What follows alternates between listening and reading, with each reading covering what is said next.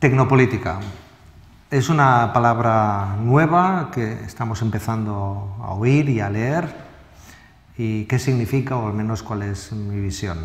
La tecnopolítica es eh, el uso de la tecnología para la acción, la comunicación y la, la organización uh, política. Por lo tanto, pensar, decir, hacer.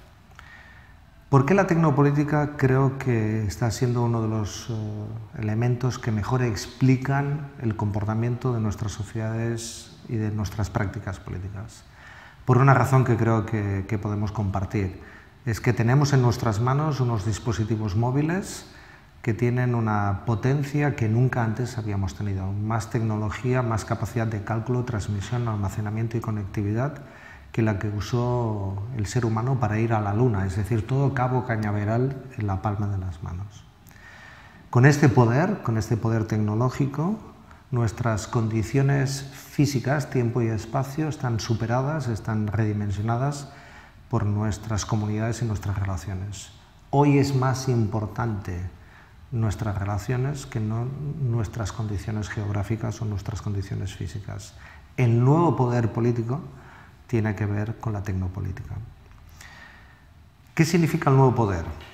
Si tenéis que escoger un equipo de campaña, si tenéis que escoger un proyecto para una startup personal, si tenéis que dar un consejo a un amigo o una amiga, eh, si tenéis que optar por un equipo, por una expedición, por un viaje, ¿con quién vais a ir? ¿Con ágiles o con torpes?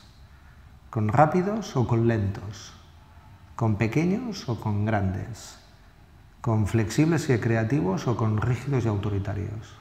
Es decir, se está reconfigurando una nueva manera, unas nuevas prácticas, unas nuevas habilidades para la acción y el compromiso político que tiene que ver muchísimo con esta capacidad tecnológica de rapidez, flexibilidad, creatividad, comunidad. ¿no?